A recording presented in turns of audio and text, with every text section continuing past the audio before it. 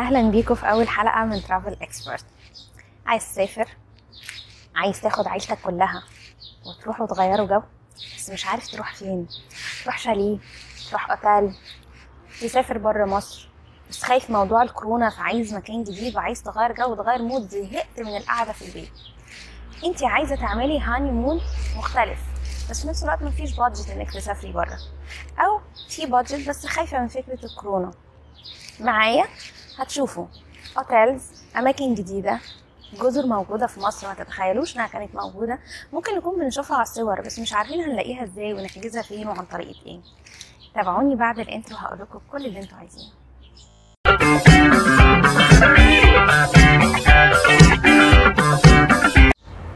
ورجعنا لكم بعد ال intro. بما إننا في أول حلقة لينا فقررنا نتكلم عن الشريحة الأكبر من المجتمع وهو أوتيل يناسب العيلة.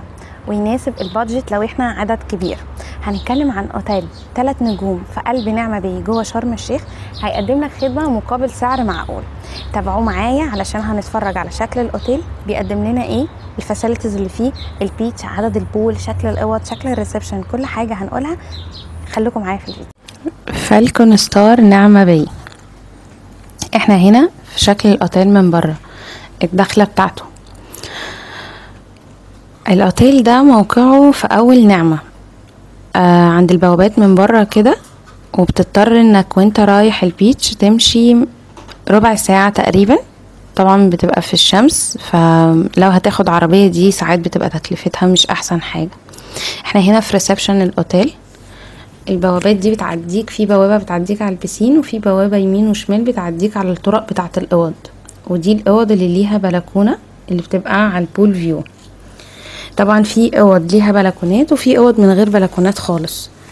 الأوضة ال double بيبقى ال capacity بتاعتها أو تقدر تشيل اتنين فردين كبار وفردين أطفال لغاية عمر ست سنين بيبقوا free من بعد الست سنين لغاية 11 سنة 99 يوم بيتحسب الطفل بنص تمن الفرد الكبير. آه الأوتيل نوعا ما على كون إن هو تلات نجوم معقول يعني ال furniture الأثاث بتاعه والحاجات بتاعته كويسة مش مش متهالكة ومش five star بس حلوة يعني يتقعد فيها. أه بنتكلم عن فكرة ان الأوتيل مفهوش aqua park مفهوش ألعاب مائية مفهوش جيم مفهوش كوافير للناس اللي بيفرق معاها الحاجات دي. لكن هو في سبا بس هي مش including ال all inclusive بتاعتكم يعني انت لما بتطلع وتحجز إقامة اللي هي فطار غدا عشاء open buffet بالمشروبات لو انت في أوتيل خمس نجوم بتاخد الساونا for free مع الإقامة. لكن في الثلاث نجوم مثلا انت مش بتاخدها for free ده البسين الكبير. وفي بسين كمان وراه صغير. يعني في بسين صغير للأطفال اللي هم من ثلاث سنين كده يبقوا واقفين فيه. والبسين ده في قلب البسين الكبير. بس طوله كويس يعني طوله الأطفال يقدروا يقفوا فيه. ورا ورا البسين ده في بسين أطفال تاني. آه زي ما إحنا شايفين هو طوله متدرج يعني من القصير لغاية أطول حاجة تقريبا مترين.